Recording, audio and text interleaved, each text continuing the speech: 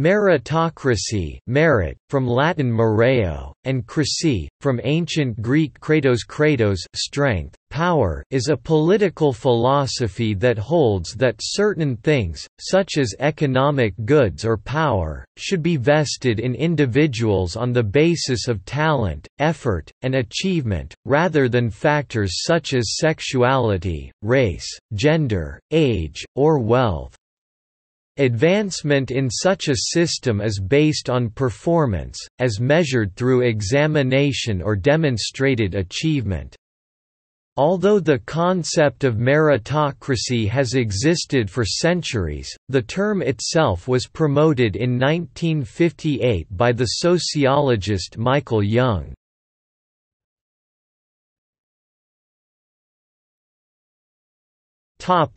Definitions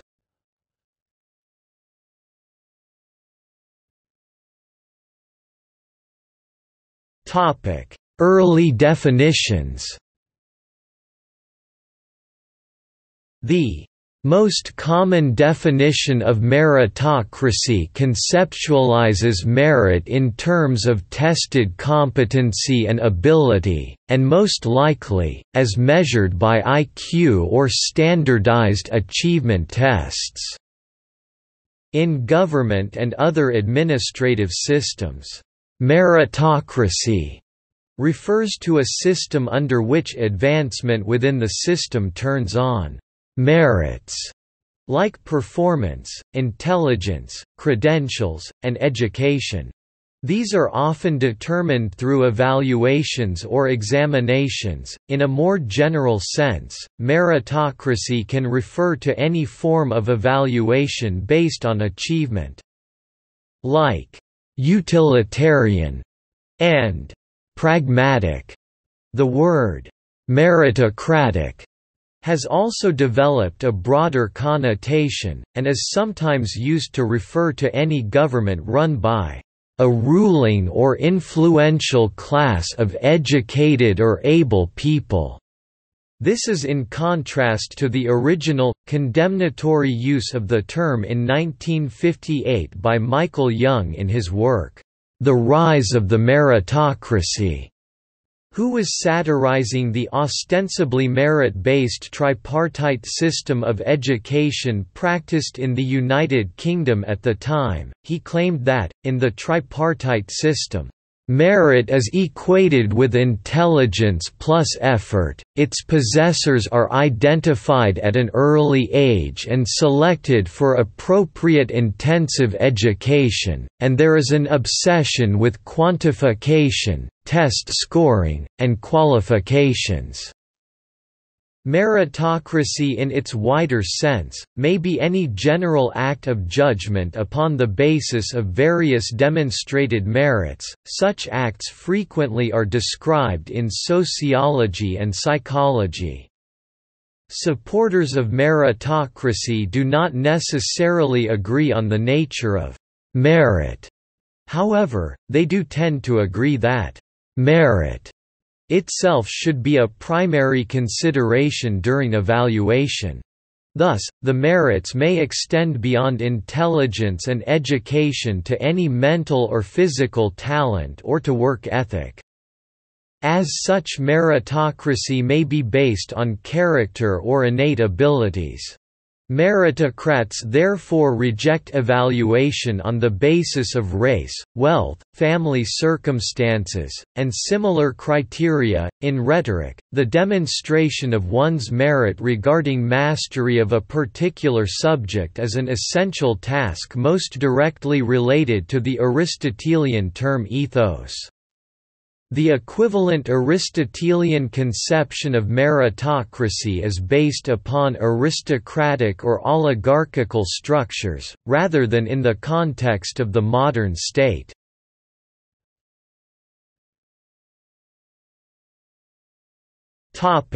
More recent definitions In the United States, the assassination of President James A. Garfield in 1881 prompted the replacement of the American spoils system with a meritocracy. In 1883, the Pendleton Civil Service Reform Act was passed, stipulating government jobs should be awarded on the basis of merit through competitive exams, rather than ties to politicians or political affiliation. The most common form of meritocratic screening found today is the college degree. Higher education is an imperfect meritocratic screening system for various reasons, such as lack of uniform standards worldwide, lack of scope not all occupations and processes are included, and lack of access some talented people never have an opportunity to participate because of the expense, most especially in developing countries. Nonetheless, academic degrees serve some amount of meritocratic screening purpose in the absence of a more refined methodology. Education alone, however, does not constitute a complete system, as meritocracy must automatically confer power and authority, which a degree does not accomplish independently.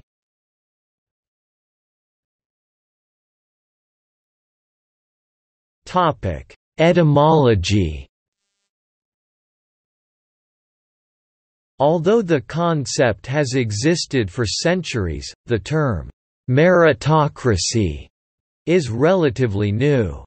It was used pejoratively by British politician and sociologist Michael Young in his 1958 satirical essay The Rise of the Meritocracy, which pictured the United Kingdom under the rule of a government favouring intelligence and aptitude merit above all else, being the combination of the root of Latin origin, merit, from mereo, meaning earn, and the ancient Greek suffix cracy, meaning power, rule.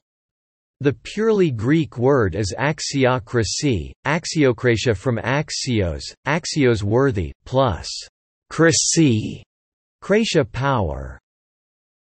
In this book the term had distinctly negative connotations as Young questioned both the legitimacy of the selection process used to become a member of this elite and the outcomes of being ruled by such a narrowly defined group.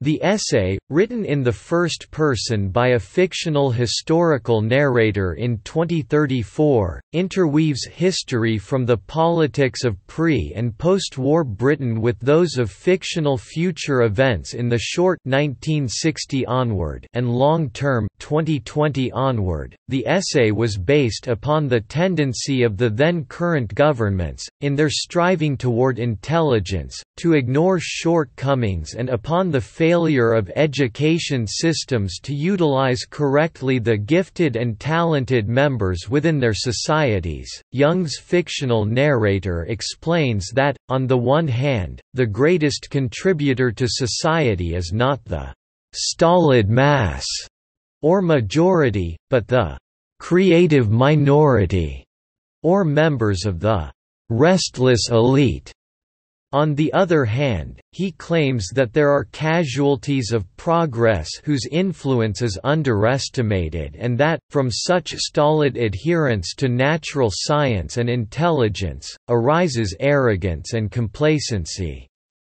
This problem is encapsulated in the phrase, "...every selection of one is a rejection of many."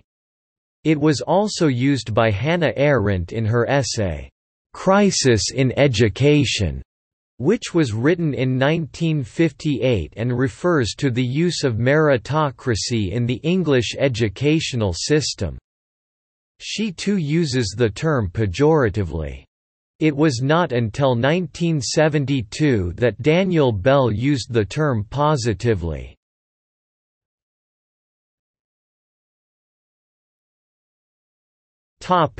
History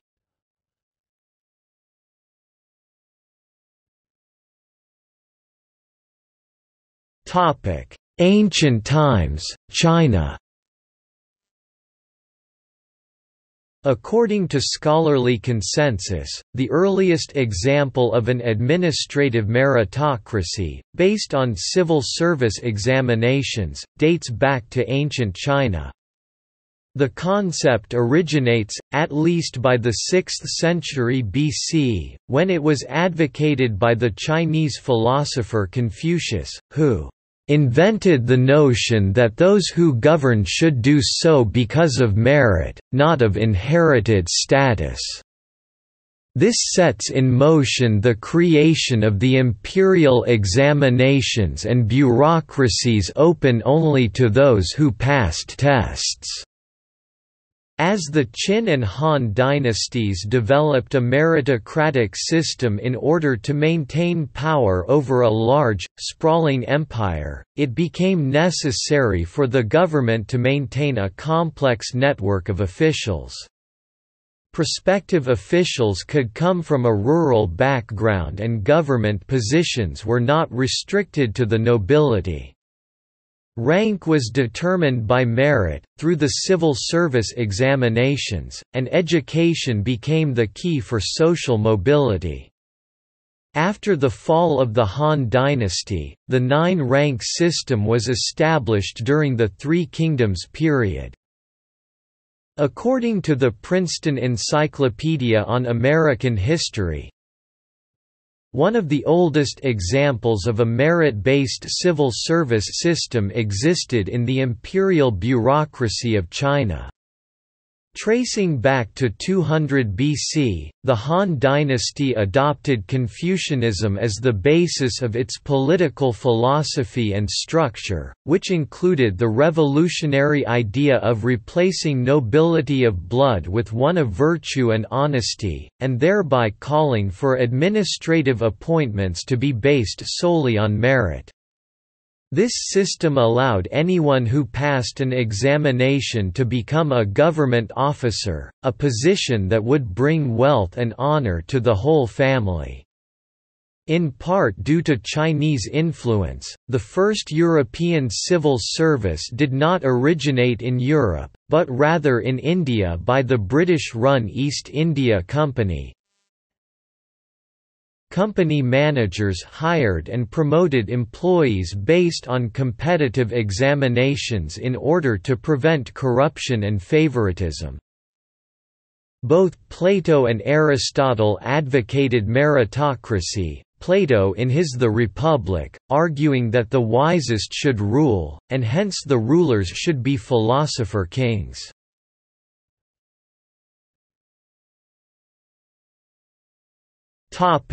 17th century spread to Europe.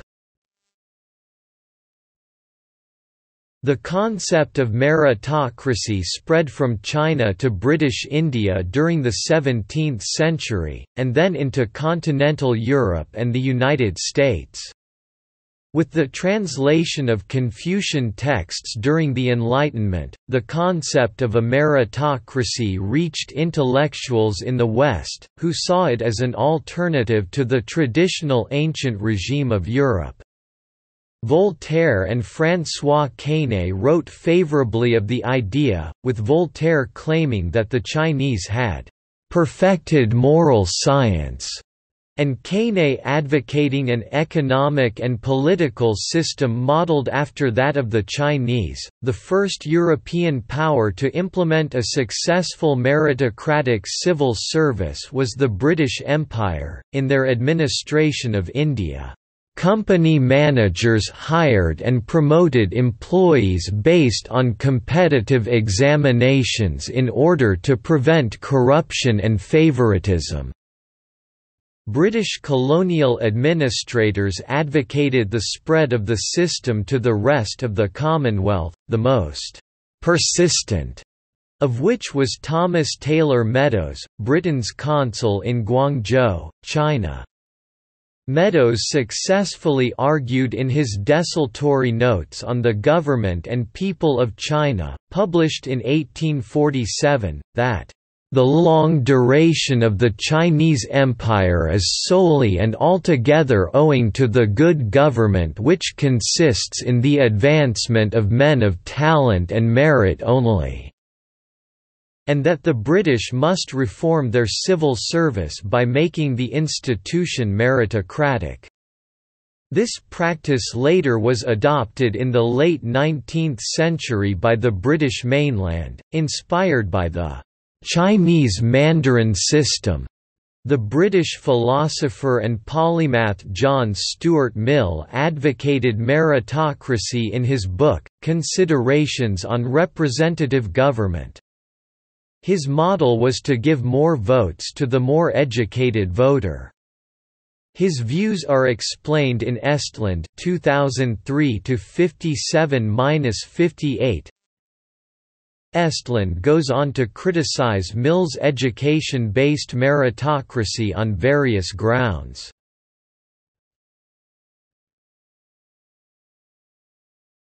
Topic: 19th century.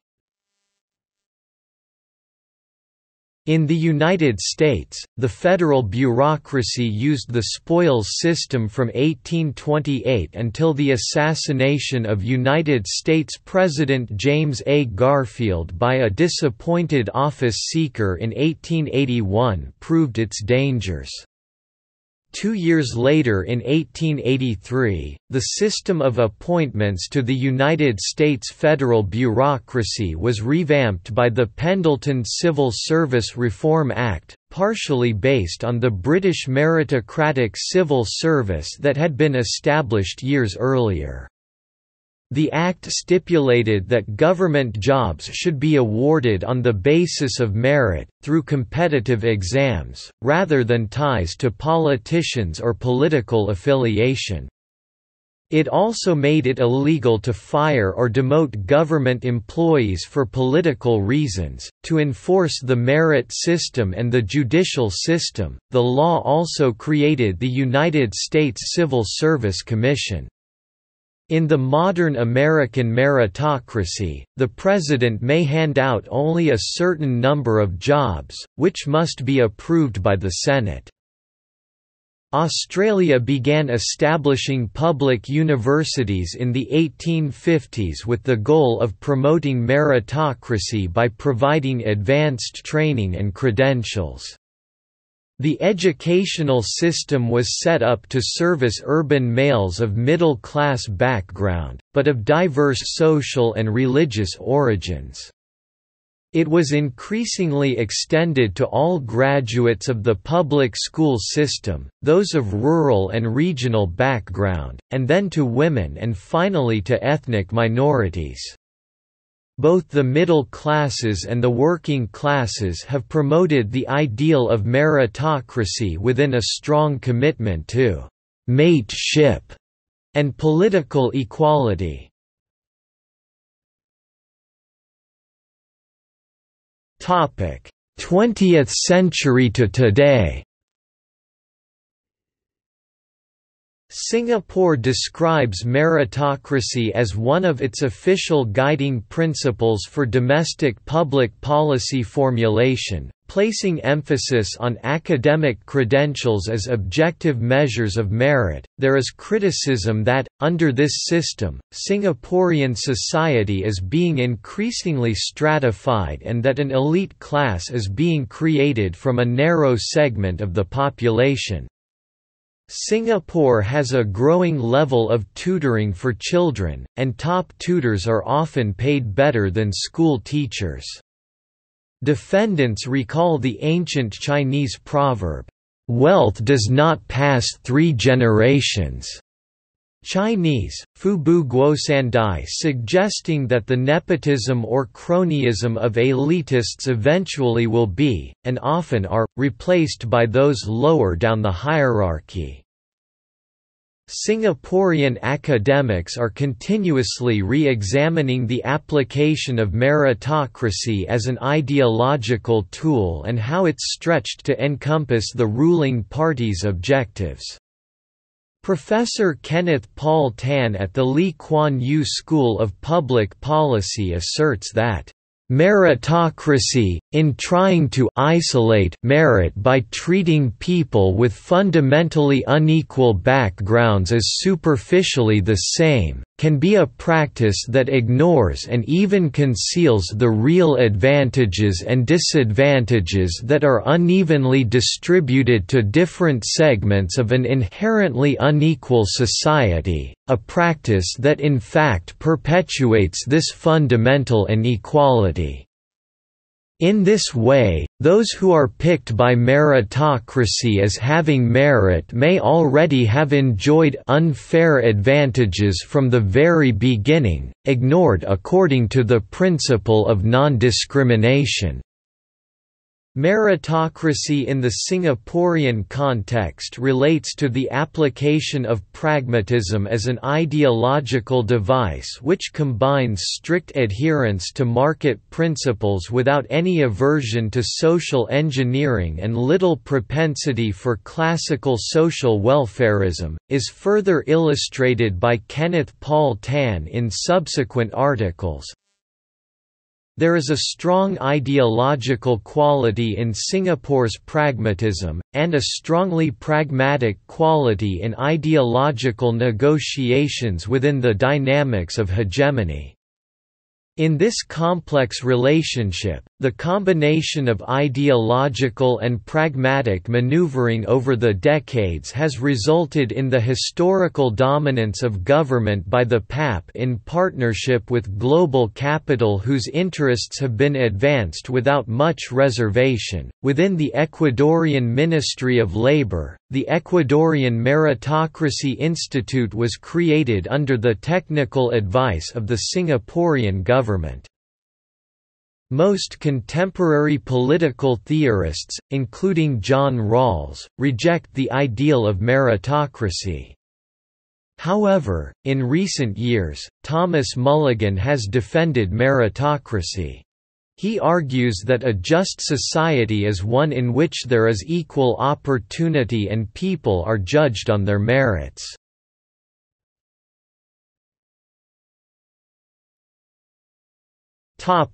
Modern meritocratic movements.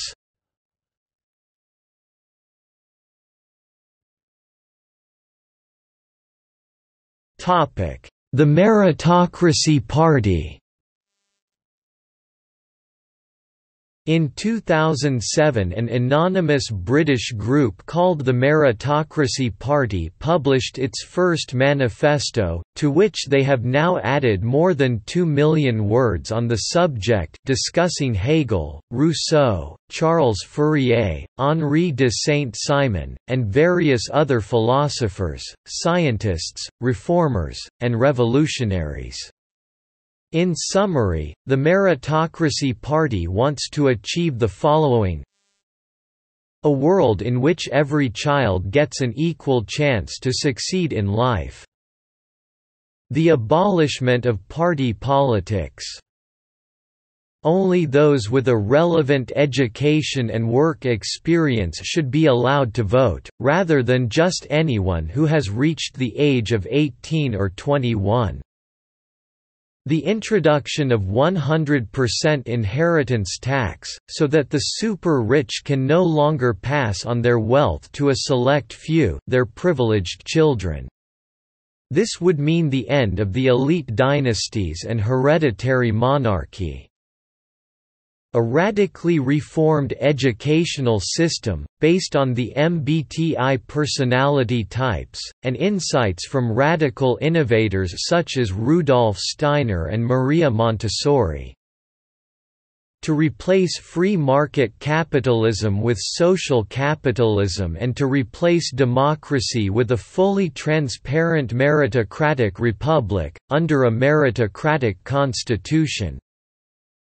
The end of nepotism, cronyism, discrimination, privilege, and unequal chances. On their website, the Meritocracy Party lists five meritocratic principles and 13 primary aims. The Meritocracy International is the host of all meritocratic political parties in the world and the place where these may be found by country of origin.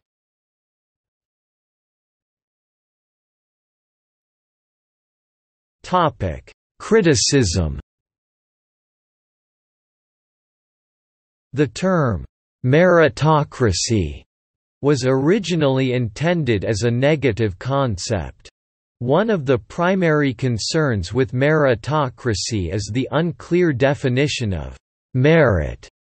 What is considered as meritorious can differ with opinions as on which qualities are considered the most worthy, raising the question of which merit is the highest, or, in other words, which standard is the best standard.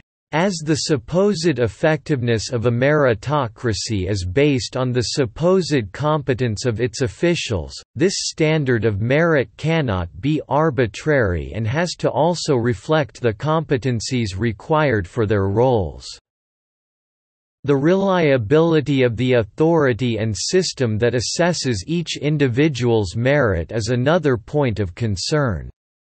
As a meritocratic system relies on a standard of merit to measure and compare people against, the system by which this is done has to be reliable to ensure that their assessed merit accurately reflects their potential capabilities. Standardized testing, which reflects the meritocratic sorting process, has come under criticism for being rigid and unable to accurately assess many valuable qualities and potentials of students.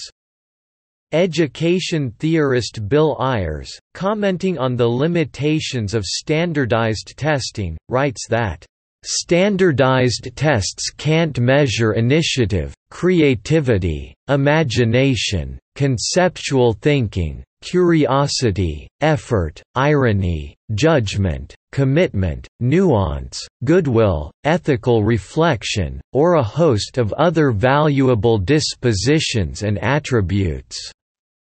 What they can measure and count are isolated skills, specific facts and function, content knowledge, the least interesting and least significant aspects of learning. Merit determined through the opinionated evaluations of teachers, while being able to assess the valuable qualities that cannot be assessed by standardized testing, are unreliable as the opinions, insights, biases, and standards of the teachers vary greatly. If the system of evaluation is corrupt, non-transparent, opinionated or misguided, decisions regarding who has the highest merit can be highly fallible. The level of education required in order to become competitive in a meritocracy may also be costly, effectively limiting candidacy for a position of power to those with the means necessary to become educated. An example of this was Chinese student self-declared messiah, Hong Xiuquan, who despite ranking first in a preliminary, nationwide imperial examination, was unable to afford further education. As such, although he did try to study in private, Hong was ultimately non-competitive in later examinations and unable to become a bureaucrat. This economic aspect of meritocracies has been said to continue nowadays in countries without free educations, with the Supreme Court of the United States, for example, consisting only of justices who attended Harvard or Yale and generally only considering clerkship candidates who attended a top five university, while in the 1950s the two universities only accounted for around one-fifth of the justices. Even if free education were provided, the resources that the parents of a student are able to provide outside of the curriculum, such as tutoring, exam preparation, and financial support for living costs during higher education will influence the education the student attains and the student's social position in a meritocratic society. This limits the fairness and justness of any meritocratic system. Similarly, feminist critics have noted that many hierarchical organizations actually favor individuals who have received disproportionate support of an informal kind e.g. mentorship, word-of-mouth opportunities, and so on, such that only those who benefit from such supports are likely to understand these organizations as meritocratic. Another concern regards the principle of incompetence, or the Peter Principle as people rise in a meritocratic society through the social hierarchy through their demonstrated merit, they eventually reach, and become stuck, at a level too difficult for them to perform effectively, they are promoted to incompetence. This reduces the effectiveness of a meritocratic system, the supposed main practical benefit of which is the competence of those who run the society. In his book Meritocratic Education and Social Worthlessness Palgrave, 2012, the philosopher Khen Lampert argued that educational meritocracy is nothing but a post-modern version of social Darwinism. Its proponents argue that the theory justifies social inequality as being meritocratic. This social theory holds that Darwin's theory of evolution by natural selection is a model, not only for the development of biological traits in a population, but also as an application for human social institutions the existing social institutions being implicitly declared as normative. Social Darwinism shares its roots with early progressivism, and was most popular from the late 19th century to the end of World War II. Darwin only ventured to propound his theories in a biological sense, and it is other thinkers and theorists who have applied Darwin's model normatively to unequal endowments of human ambitions.